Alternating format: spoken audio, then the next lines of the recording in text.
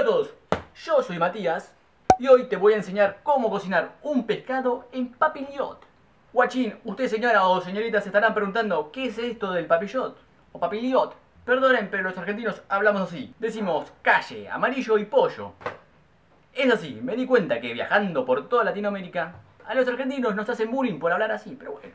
Dentro de todos los argentinos hablamos bastante bien. El papillot es una técnica de cocción que se emplea usando papel metálico o papel manteca. Se hace como una especie de paquete con todos los productos que queremos cocinar y digamos que se cocinan en su propio jugo y su propio vapor que se hace internamente. Porque es como un paquete que se va inflando, entonces todo se cocina ahí adentro. Ahora cuando lo vean van a entender más o menos de lo que les estoy explicando. Esta receta yo la hice con merluza, pero ustedes pueden utilizar el pescado que a ustedes más les guste.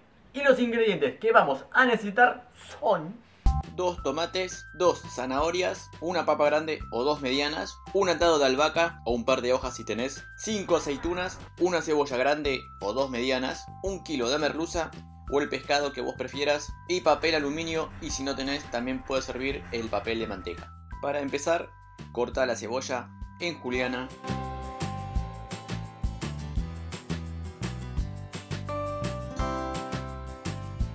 La papa cortada en rodajas finas de aproximadamente 4 milímetros que no sean muy gruesas para que se terminen de cocinar bien en el horno.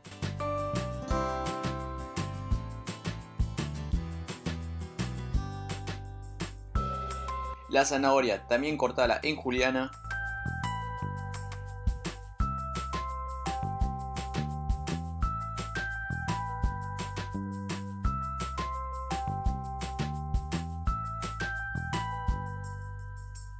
El tomate, cortalos en cuartos y esas mitades volverlas a cortar también en cuartos.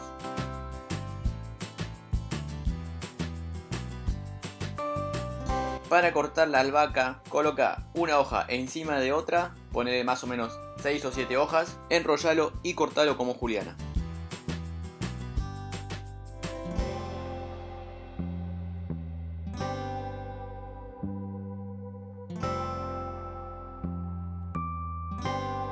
Para el armado del papillot, en un rectángulo de papel aluminio, coloca un poco de aceite de oliva,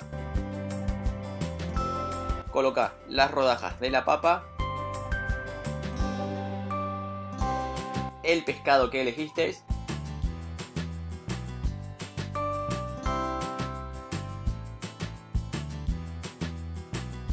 después coloca el tomate, la zanahoria, la cebolla,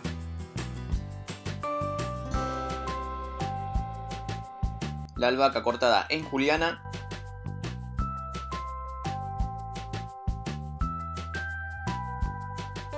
colocale sal y pimienta. Y por último agregale las aceitunas cortadas en juliana.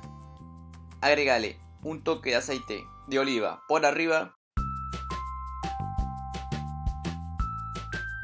y tapa con otro rectángulo de aluminio. Cerra bien los cuatro bordes del paquete que se va formando.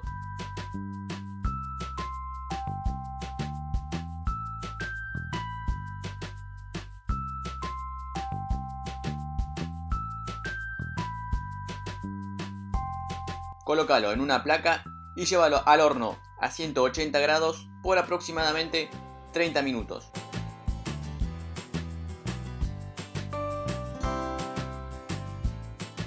Una vez que se cocinó, con una tijera corta el paquete y abrilo apenas para que salga todo el vapor que estaba dentro del paquete.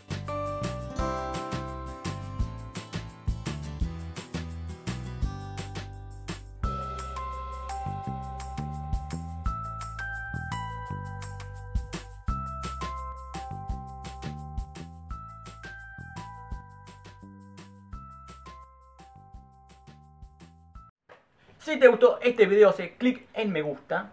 Si quieres ver más videos, suscríbete a este canal que todos los martes y sábados subo nuevos videos. Si quieres hacerme alguna pregunta por mi Facebook o por mi Twitter o también por mi Instagram. Antes de terminar el video tengo que saludar a Nicole que me lo estuvo pidiendo insistentemente. Y bueno, acá va tu saludo Nicole. Que creo que es de River porque se llama Nicole S-A-R-P, así que supongo, calculo, estimo que serás de River. Un saludo para vos y un saludo para todos ustedes. ¡Chao! Y otra vez arrancó la puta fábrica. Quiero seguir grabando, pero ustedes no sé si, se, si escuchan que está una fábrica acá atrás mío, del orto. Que está así, todo el día con ese ruido de mierda. Ahora toca esperar nada más. Ahora se está escuchando música detrás, ¿no? Ustedes verán que tengo mucha paciencia para hacer estas cosas porque ya puse matado a todos los vecinos por hacer tanto ruido. Imagínense, imagínense, esto es temprano en la mañana. A la noche. En la noche como cogen los vecinos, por Dios, están todo el día, mete, mete, mete, mete, mete. Es lo que hay, es lo que hay.